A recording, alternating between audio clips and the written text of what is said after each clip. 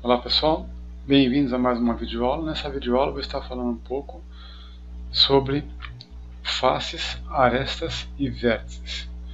Uh, são muito importantes para que a gente possa ter noção de modelagem dos nossos objetos. Uh, essas ferramentas se encontram aqui na lateral, na parte esquerda do Cinema 4D e vocês podem ver que é um cubo com duas, dois, dois círculos pequenininhos que são os points, os pontos, né? Essas com duas retas aqui, as arestas, e esse com uma, uma face aqui iluminada é as faces, os polígonos, tá ok? Então, vamos estar vendo como é que a gente pode estar utilizando essas ferramentas aqui para modelar um objeto. Primeiramente, vamos criar um cubo, que é um objeto primitivo, tá? é um objeto paramétrico.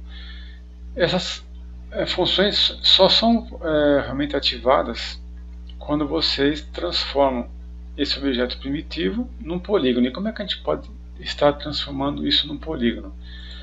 Através dessa opção aqui, Make Editable, que converte objeto paramétrico em objeto poligonal, como, como a própria descrição aqui diz. Tá? Você pode clicar aqui ou clicar na tecla C. Tanto faz, vocês podem estar optando ou por uma ou por outra, tá ok? vamos clicar aqui na, nas, nos vértices, tá? nos pontos, e ver como é que a gente pode estar alterando esse, esse objeto. Vocês podem perceber que, por ser um cubo perfeito, possui vértices em cima. Ou seja, na intersecção entre as arestas, certo? Então, você pode estar clicando em cima disso e estar alterando é, o objeto. Você pode estar puxando um pouco para cima, para baixo, certo? No eixo Y aqui, né? E também pelo eixo Z, profundidade, está alterando desse lado aqui, ou no eixo X. Tanto faz, certo? Podemos estar selecionando os pontos desse objeto aqui pela seleção Live Selection, onde você vai poder apertando o Shift e estar selecionando tá, os pontos que você realmente deseja que sejam alterados. Quando você clica fora da tela, ele é, deixa des, ele é desselecionado, entendeu? Então, você pode também estar clicando simplesmente com Shift selecionando os pontos, certo? Você clicando Shift com dois pontos aqui na frente, você está alterando a, a, a, a parte lateral do cubo para a esquerda e para a direita, certo? Mesma coisa que você for fazer no sentido diagonal aqui, você está alterando a parte daqui, certo? Uma coisa bem, bem simples bem tranquila, certo? De se fazer tudo. Então você, você pode estar alterando um monte de coisa. Uh, suponha que eu queira, é, em vez de ficar clicando Shift, eu clicar é, seleção de todos os pontos desse cubo. Então eu vou na, na ferramenta Select e vou estar colocando no Rectangle Selection.